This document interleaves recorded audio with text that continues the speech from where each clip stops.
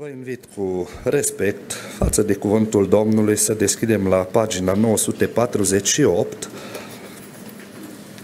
Evanghelia după Matei, capitolul 21 și citim de la versetul 1 până la 9.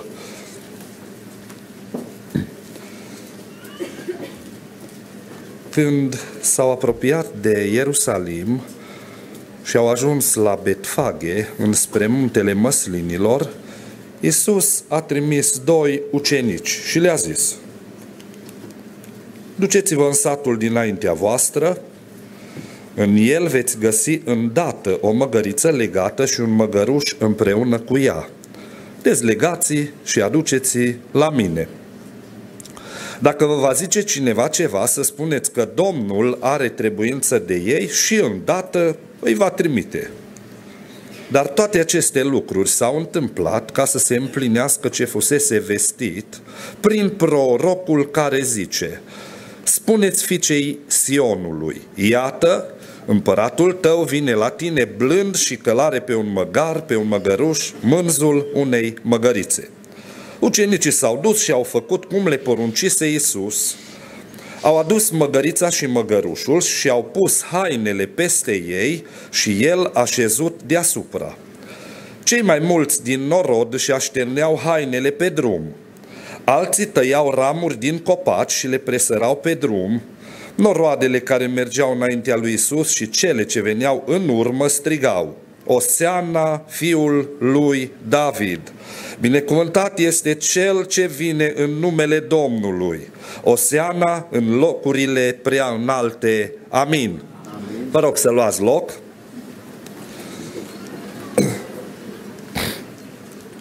Îndemnul Scripturii în ziua de astăzi pentru fiecare dintre noi este acesta. Strigă și tu, Oseana. Strigă și tu, Oseana. Și așa de important cuvântul acesta și așa e de important să împlinim ce spune cuvântul lui Dumnezeu,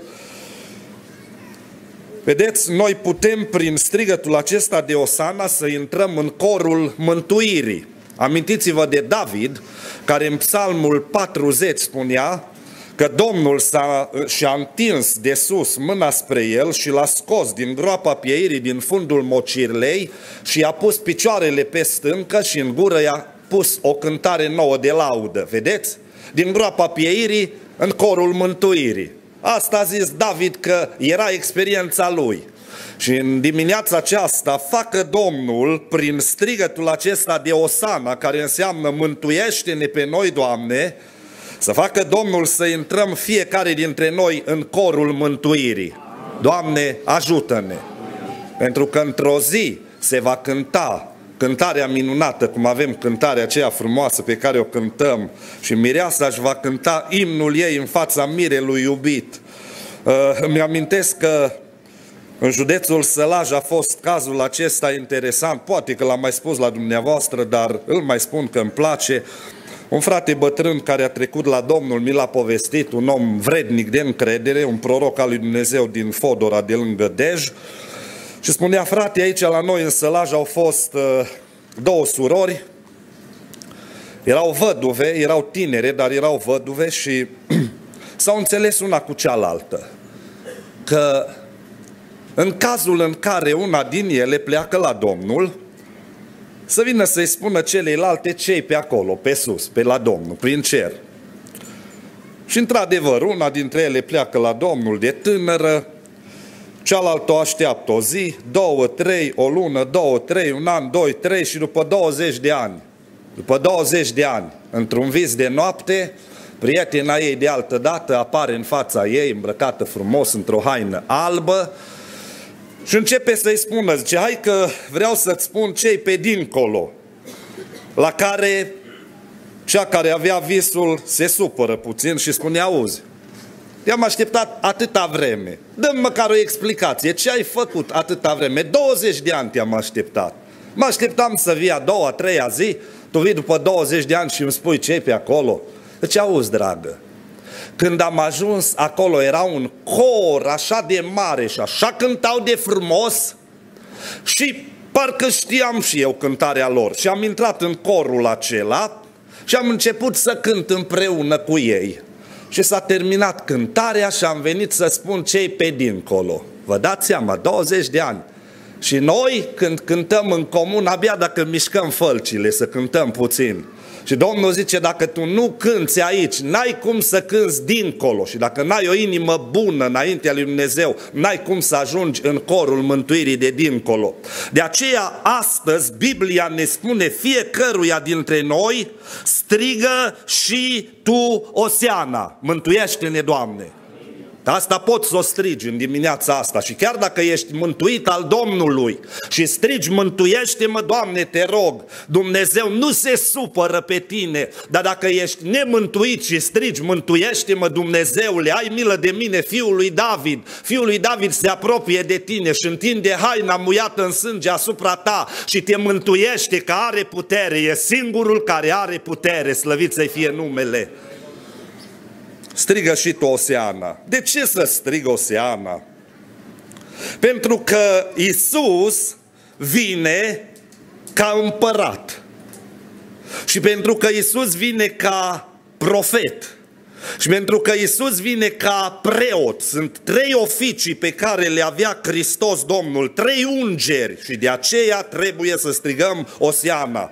Și ne oprim la prima dintre ele. Doar le trec așa în, înaintea dumneavoastră în revistă, cum se spune. Uh, Hristos vine ca împărat și Matei capitolul 21 de la versetul 1 până la 9 este intrarea lui în Ierusalim ca împărat, ca împărat. El intră ca împărat, îl aclamă ucenicii și așa mai departe. El intră în Ierusalim și ca profet și s-ar putea, s-ar putea dacă tu nu-l, nu accepti ca domn, ca stăpân, ca împărat al vieții tale, s-ar putea să intri și sigur vei intra în atribuția lui Hristos ca profet și Hristos va începe să facă ceva, să profețească în dreptul tău. Ce să spună Hristos în dreptul meu, vei spune? Luca 19 cu 41 când s-a apropiat de cetate și a văzut-o Iisus, a plâns pentru ea și s-ar putea Iisus să plângă pentru tine. A făcut totul pentru tine și a dat viața și a dat sângele pentru tine și a dat neprihănirea pentru tine, dar dacă tu nu intri în prima ungere a lui Hristos, în ungerea de împărat să-i o recunoști și să cazi cu fața la pământ și să spui tu ești Domnul meu și Dumnezeul meu, cum a spus altădată Toma, să știi că Iisus începe să plângă pentru tine. Și cuvântul de aici, din Luca 19 cu 41, eclausen, eclausen în greacă, a plânge în hohote. Vă dați seama că toată procesiunea aceea a ucenicilor care l aclamau, care strigau înaintea lui, pentru că spunea Sfântul Bernard că el întotdeauna a fugit când ei au vrut să-l facă împărat. Dar când a fost să fie crucificat, s-a arătat ca împărat. Extraordinar ce Dumnezeu avem, câtă smerenie la Hristos. Gândiți-vă la arătarea de pe muntele schimbării la față. Hristos a acceptat pe muntele schimbării la față să-l vadă trei ucenici, atât, trei martori, să aibă trei martori, să-l vadă schimbat la față, cu hainele de o albiață, cum nu există pe pământ. Și a acceptat să meargă în Ierusalim și să-l vadă un întreg Ierusalim batjocorit, biciuit, bătut, crucificat și așa mai departe. Asta e smerenia Fiului lui Dumnezeu. Și după ce el este aclamat și tot strigă Oseana Fiului David, la un moment dat trebuie împăratul să-și rostească discursul.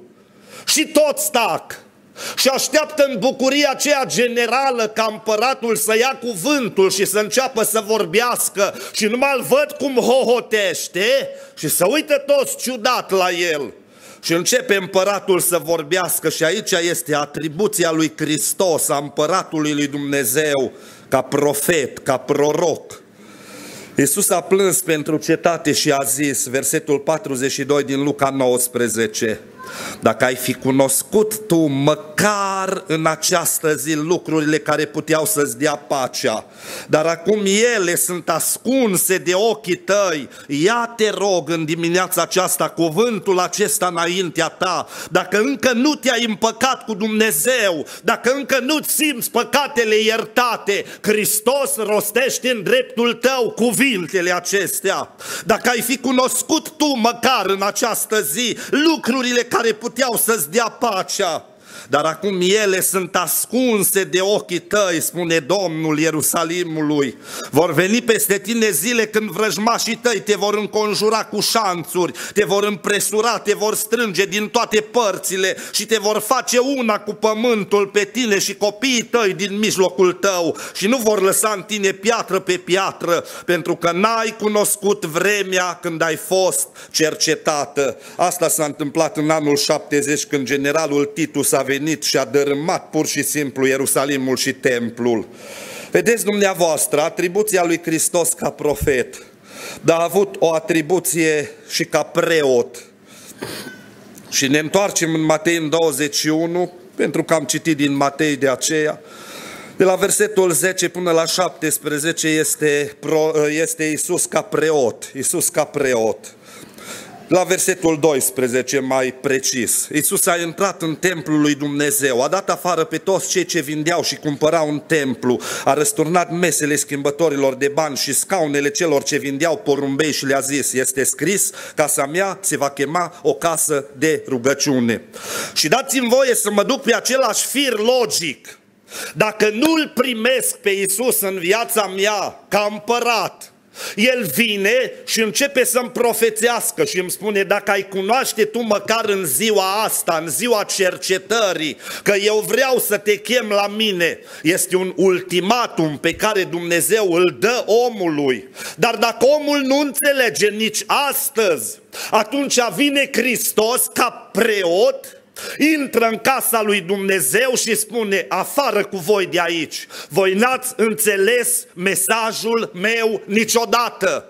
Afară ucenicii cântă cântări de laudă, înăuntru se aude uh, behăi de oi și muge de boi și se, se văd numai și se aude zornăit de bani aici înăuntru. Voi n-ați înțeles nimica. Afară laudă oamenii pe împăratul care vine, aici voi îl lăudați pe mamona, pe împăratul vostru. Afară cu voi de aici. Vedeți? Este o înlănțuire logică și ar fi bine să ținem cont de ea. Dar dacă nu-L acceptăm pe Domnul ca Domn și Mântuitor în viețile noastre, dacă nu, nu-L acceptăm ca proroc care vine și ne spune starea noastră, a sufletului nostru, va veni o zi în care El va ședea, cum spune în cartea Maleahi, în capitolul 3, va ședea în templul Lui și va începe să curețe pe fiul lui Levi și să-i lămurească cum se lămurește aurul și argintul.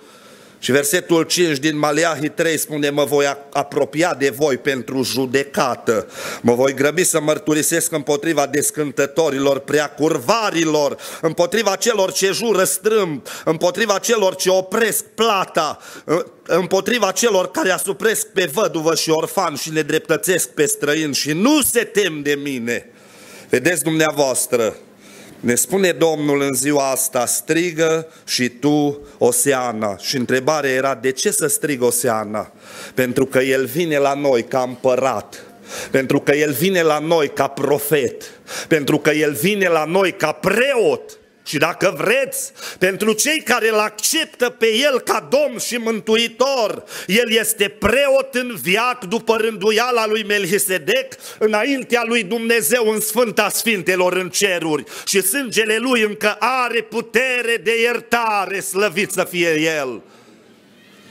Strigă și tu, Oseana, strigă Oseana în ziua de astăzi, mântuiește-mă Dumnezeule!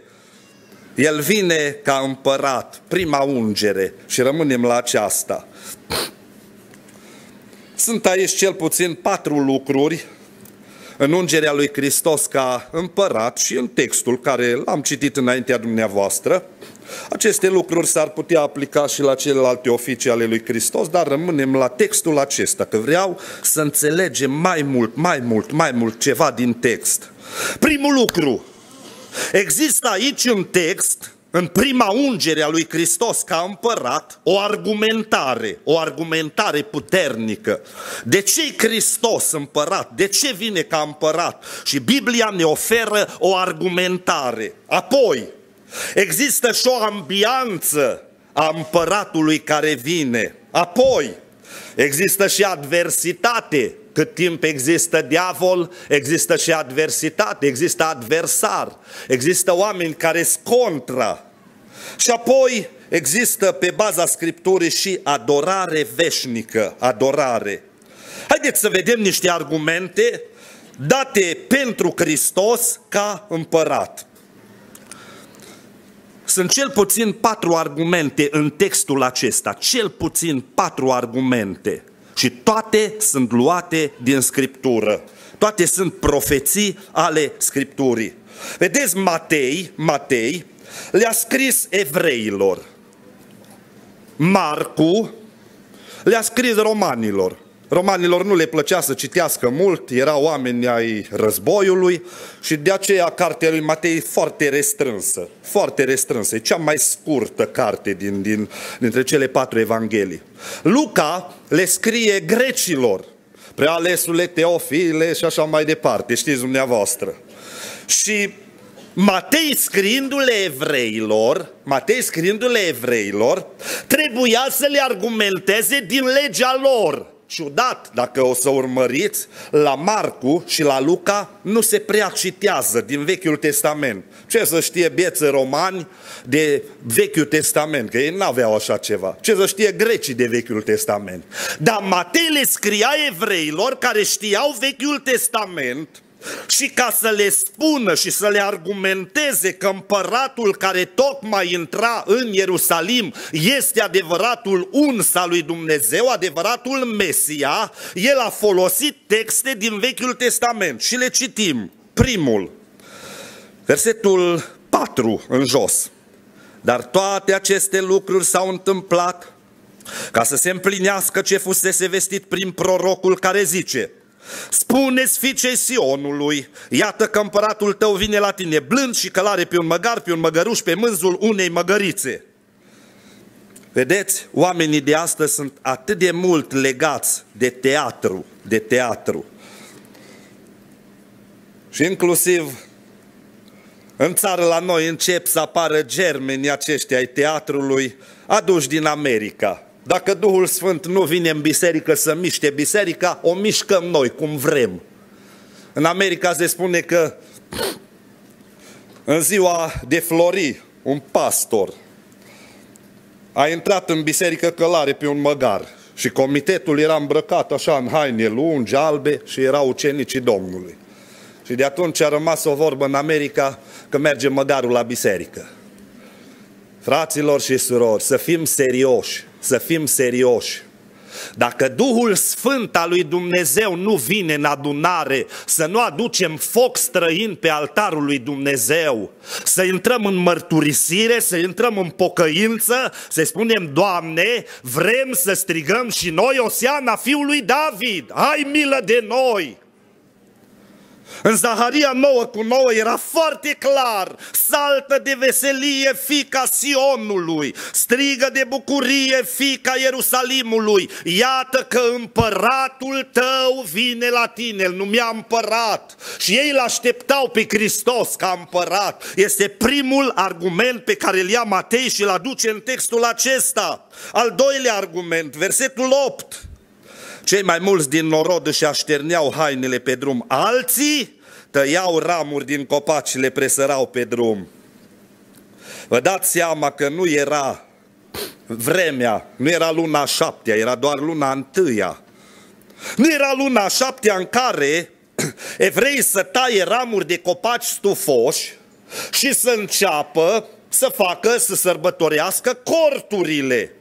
Dar ei, prin gestul acesta profetic, Levitic 23 cu 40 și Zaharia, capitolul 14, priviți în Zaharia 14 ce spune, extraordinar. Versetul 16. Toți cei ce vor rămânea din toate neamurile venite împotriva Ierusalimului se vor sui în fiecare an să se închine înaintea împăratului, domnul oștirilor și să prăznuiască sărbătoarea corturilor.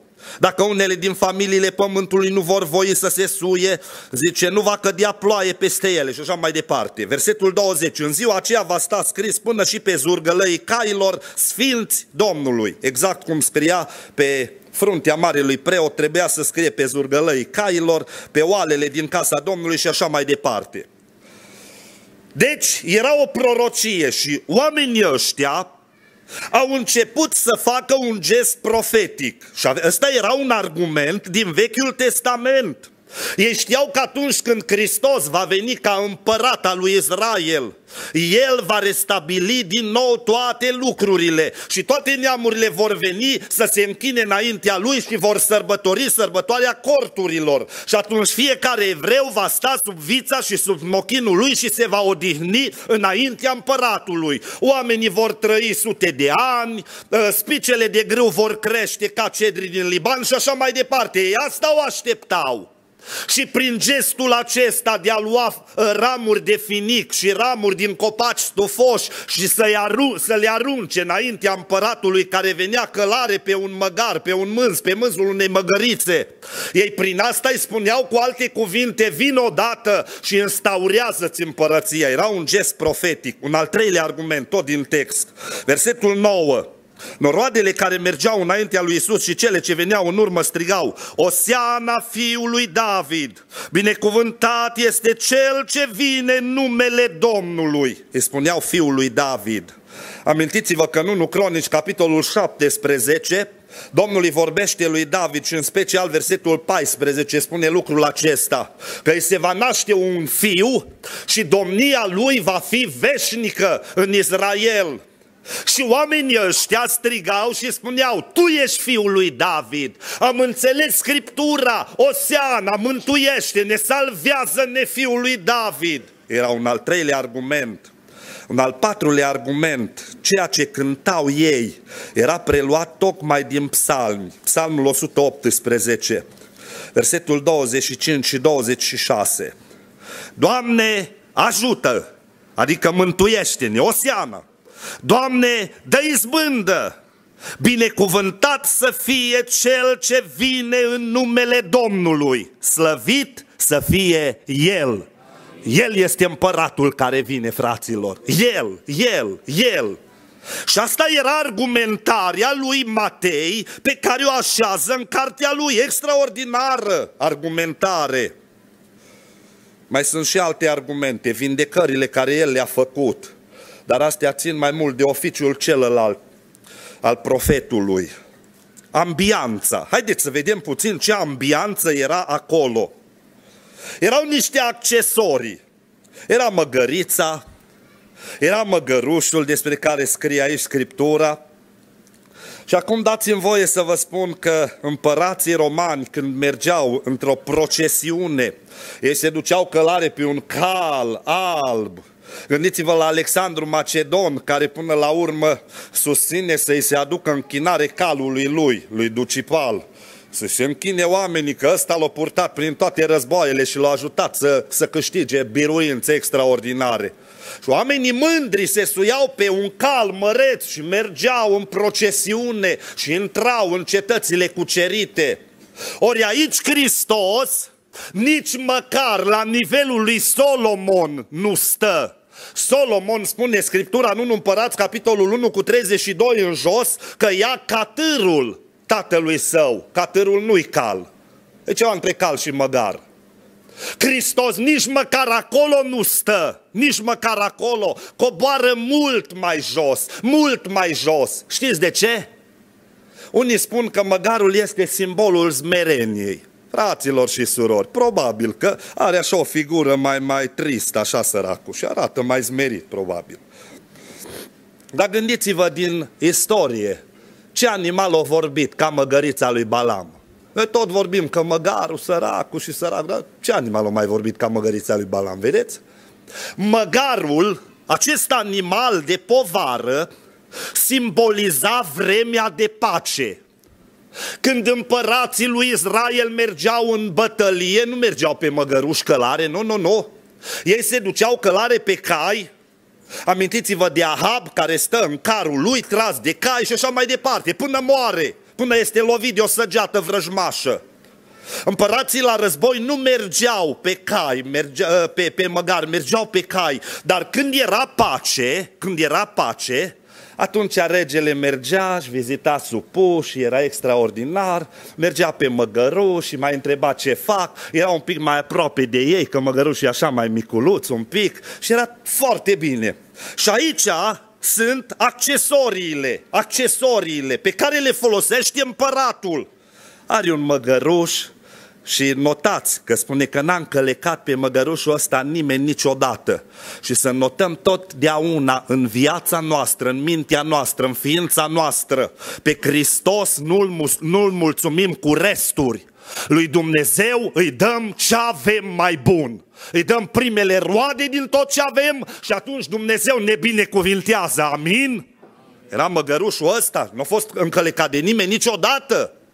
Și probabil de aceea au luat și măgărița că s-au gândit, domnul, vedeți ce delicat e Dumnezeu să se gândească până și la animale. Poate că o să fie greu la măgărușul ăla săracul să mă ducă, dar atunci să fie și mai sa. Și atunci când uh, o să fie problemă, mă duc dincolo și tot așa. Vă, vă dați seama, Dumnezeu se gândească la animale și sunt argumente în Scriptură, în argumente, multe sunt.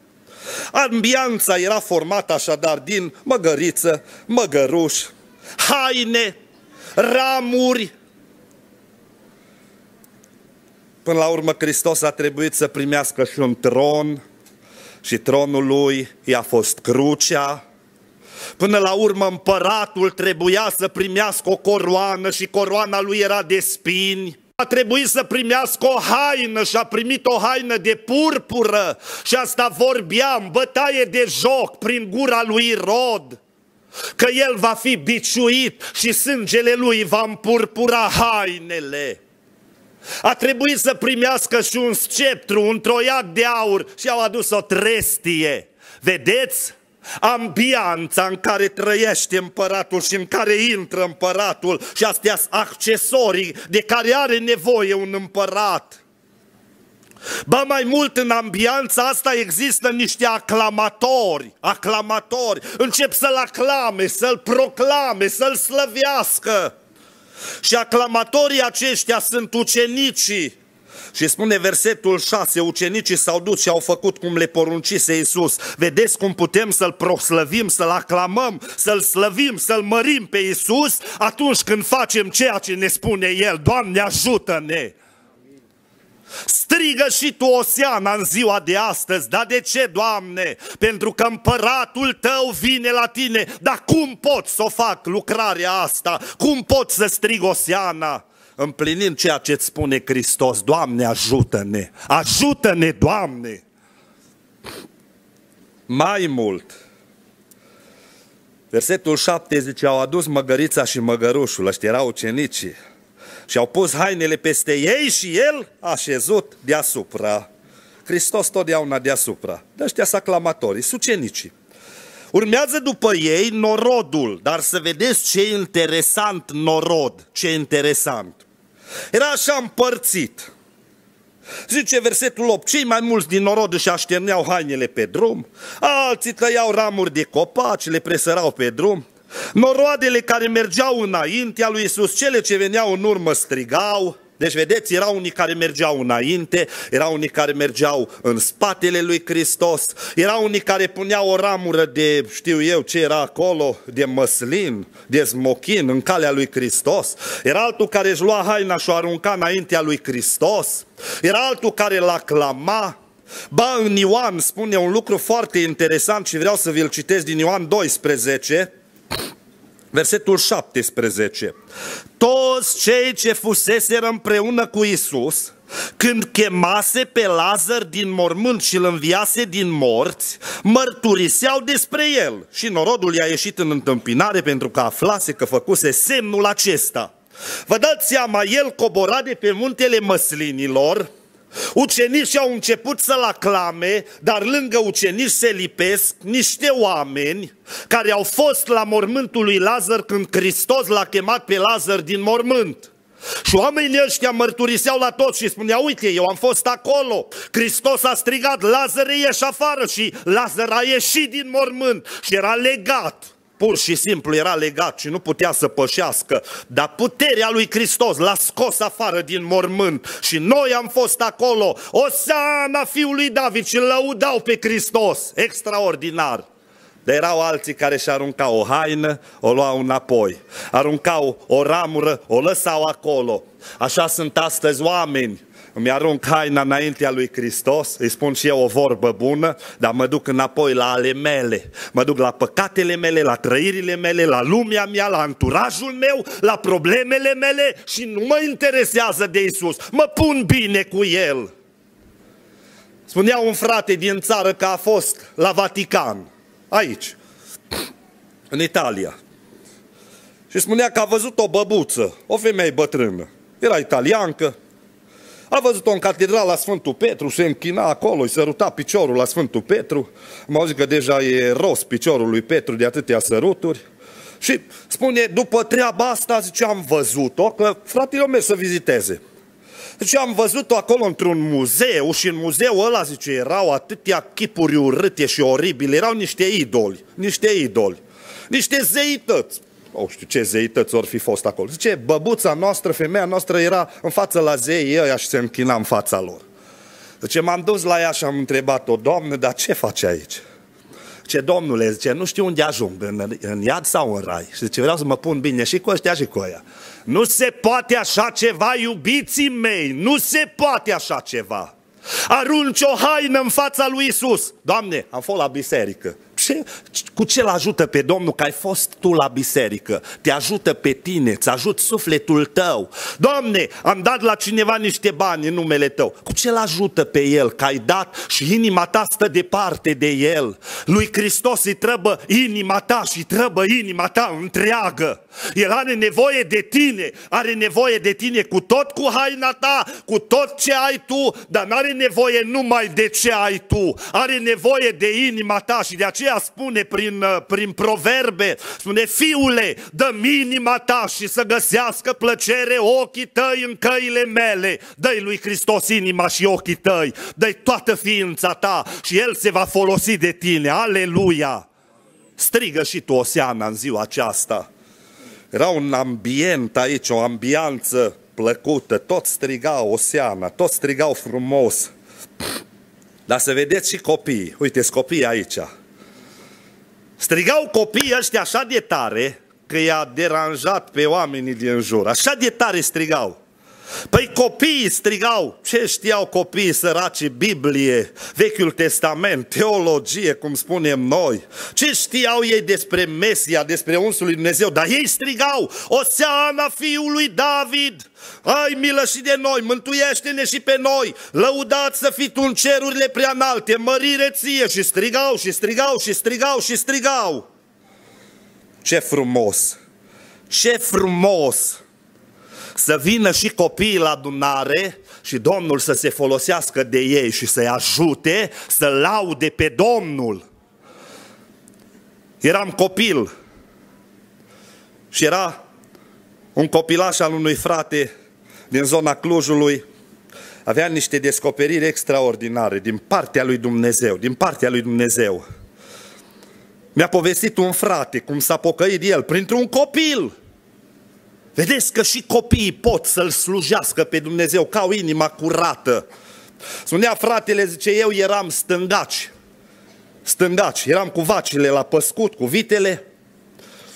M-am deprins așa de bine să țintesc. Toată ziua loviam cu pietre.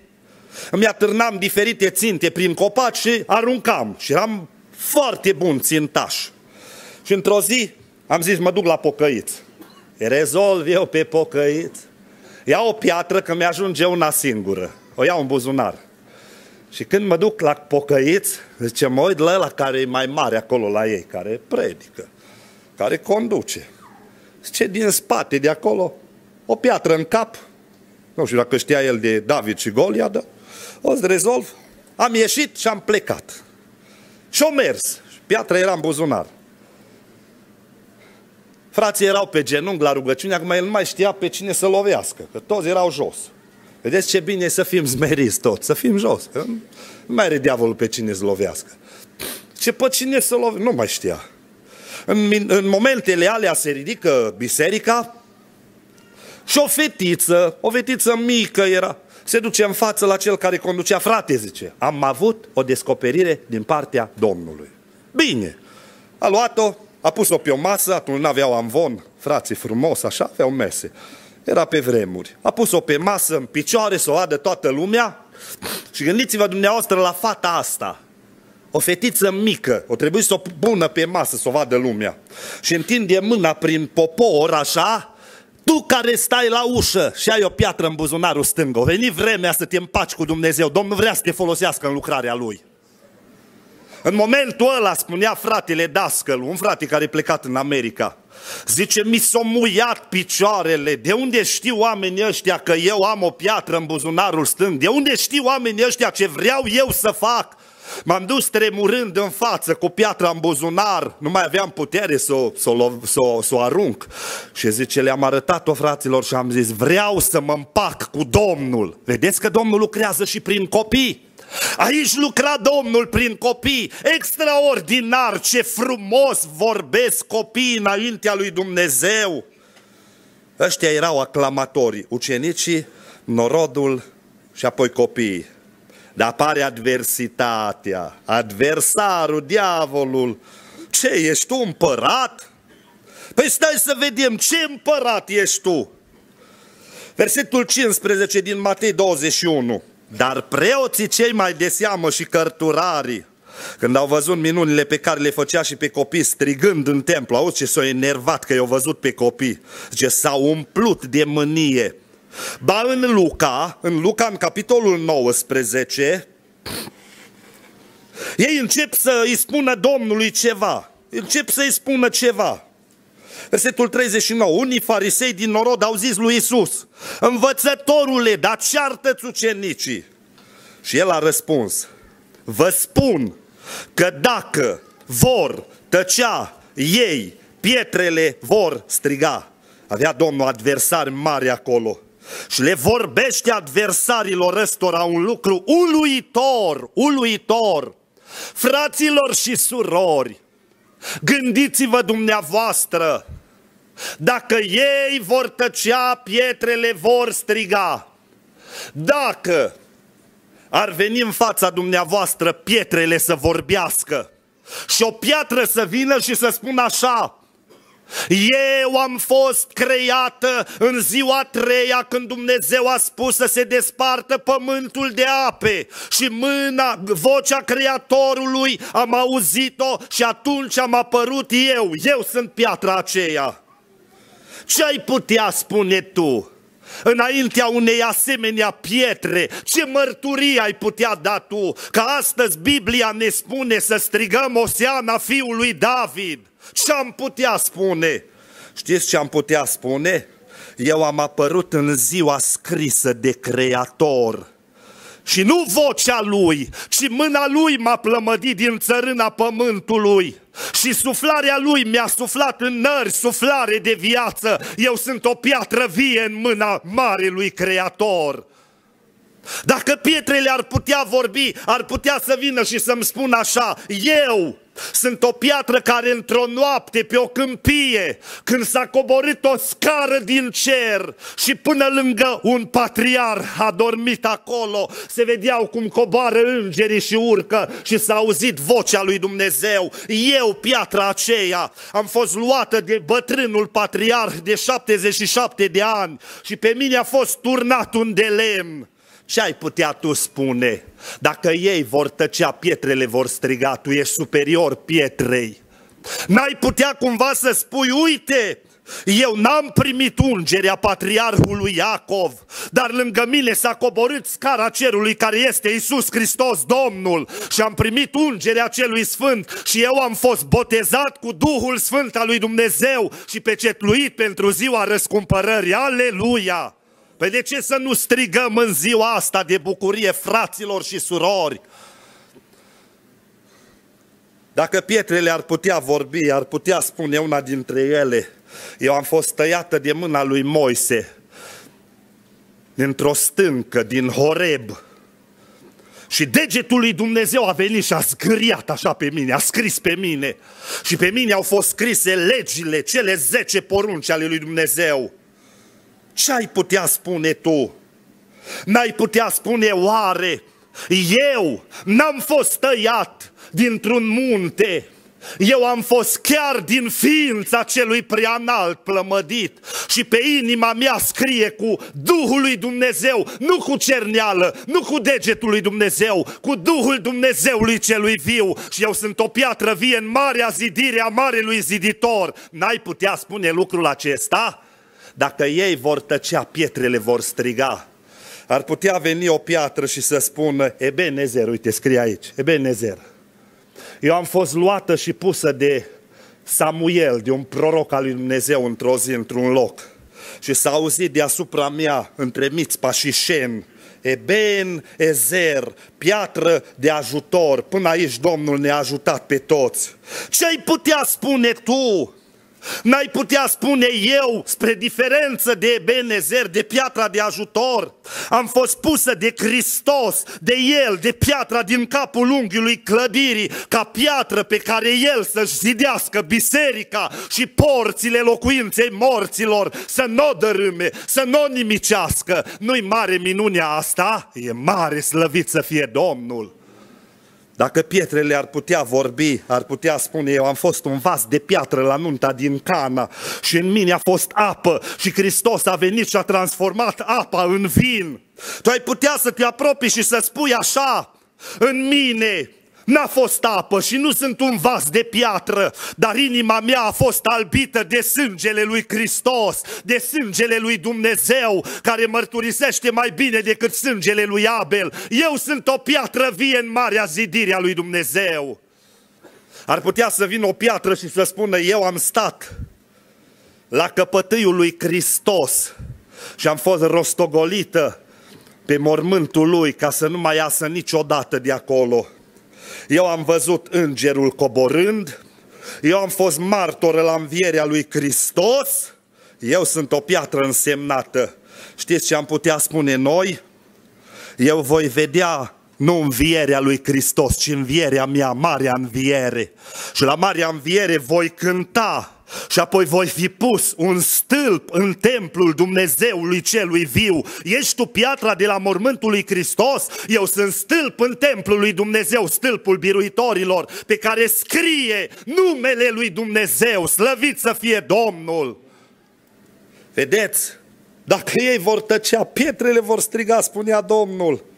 Și era adversitatea, preoți, cărturari, farisei, Ba diavolul vine mai târziu în Matei 27 cu 11 și apoi în versetul 27 și începe să-l tachineze pe Hristos dacă e împărat sau nu. Și aici e adversitate. Ești tu împăratul iudeilor? Da, sunt.